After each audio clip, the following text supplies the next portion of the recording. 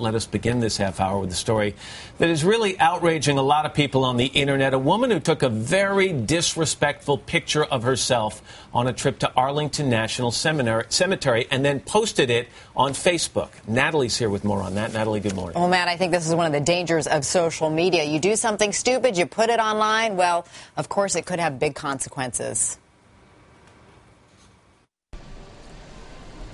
Thousands of tourists visit Arlington Cemetery every year to pay their respects to this country's fallen soldiers.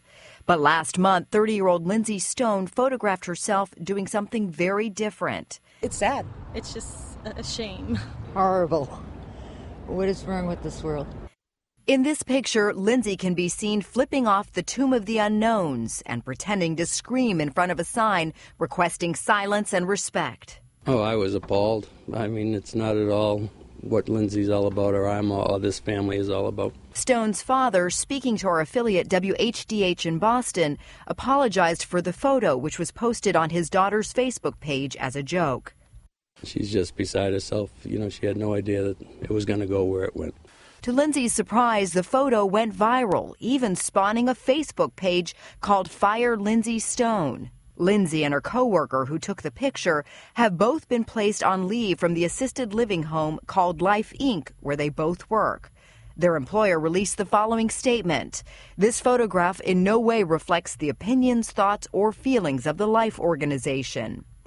Lindsay and her friend who took the picture also released a statement saying, We sincerely apologize for all the pain we have caused by posting the picture. We never meant to disrespect any of the people nationwide who have served this country and defended our freedom so valiantly. But these veterans in Hyannis, Massachusetts don't care if it was a joke or not.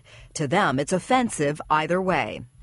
Pretty disrespectful and uh, stupid. People do stupid things in this country every day. That's one of them right there for sure.